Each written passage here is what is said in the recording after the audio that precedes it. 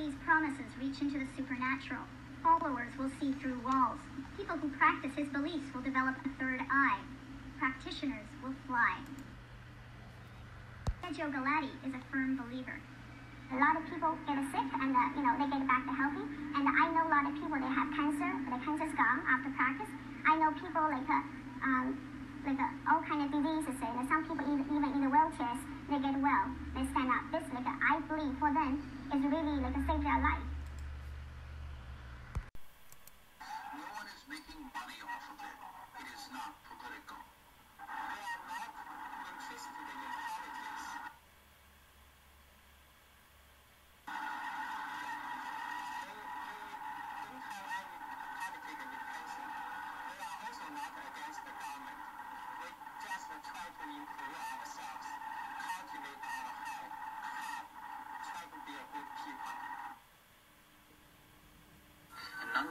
non-political spiritual practitioners.